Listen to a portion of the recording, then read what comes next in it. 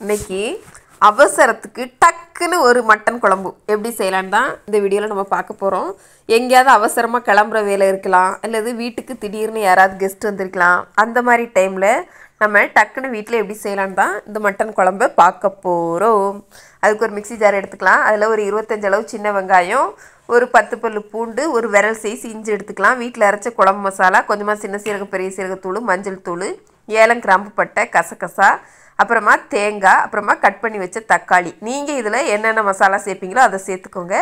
அதை வந்து நல்லா ஃபைன் பேஸ்ட்டாக அரைச்சி எடுத்துகிட்டு வந்துடலாம் இப்போ ஒரு குக்கரை ஸ்டவ் மேலே வச்சுட்டு அதில் காஞ்சதும் எண்ணெய் ஊற்றிட்டு ஒரு அஞ்சாறு சின்ன வெங்காயமோ இல்லை பெரிய வெங்காயமோ கட் பண்ணிக்கலாம். ஒரு ரெண்டு பச்சை மிளகாய் போட்டு ரெண்டு கொத்து கருவேப்பிலையும் போட்டு வதக்கி விடலாம். இது வதங்குறதுக்காக உப்பும் சேர்த்துக்கலாம். அதுக்கப்புறமா நம்ம அரைச்சி வச்சுட்டு வந்த ஃபைன் பேஸ்ட்டை இது உள்ளே போட்டு நல்லா வதங்கணும். இது வதங்குறக்கு மட்டும்தான் நமக்கு டைம் ஆகணும். ஏன்னா இது ஒரு அஞ்சு நிமிஷமாவது குறைஞ்சது வ வதங்கணும். அப்போ தான் இந்த மசாலா வெங்காயம் தக்காளி இஞ்சி பூண்டில் உள்ள பச்சை வாசனையெல்லாம் போகும். அதோட பச்சை வாசனை போகிற வரைக்கும் நமக்கு வதங்கணும். அதுக்கு மட்டும்தான் இதுக்குள்ளே டைம் எடுக்கும். அது நல்லா வதங்கி வந்ததுக்கப்புறமா நம்ம க்ளீன் பண்ணி வச்சுருக்கிற மட்டனையும் போட்டு நல்லா வதக்கி விடலாம். கொஞ்சம் நேரம் இதுவும் சேர்த்து எண்ணெயில் வதங்கட்டும்.